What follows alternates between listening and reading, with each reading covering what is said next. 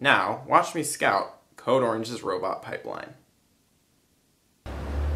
Hi, what's your team number? Hi, our team number is 3476. What's your team name? Code Orange.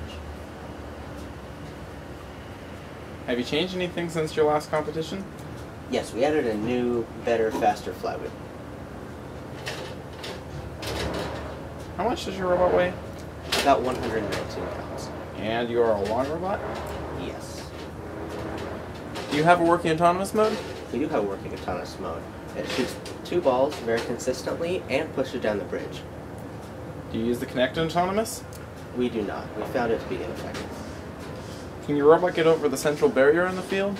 Yes, very effective. If you had to rate your bridge control from 0 to 5, what would you give it? It's a good bridge control. I'd probably rate it a 4. Do you have any experience with balancing? We do. We've double balanced several times and we balance often.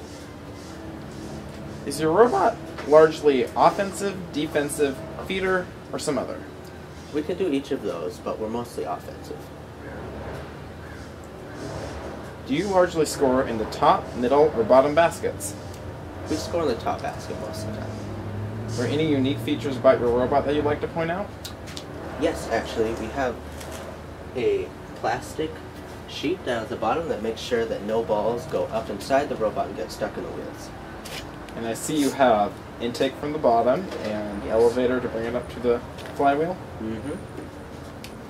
We can store three balls quite easily. Thank you very much and good luck. You're welcome.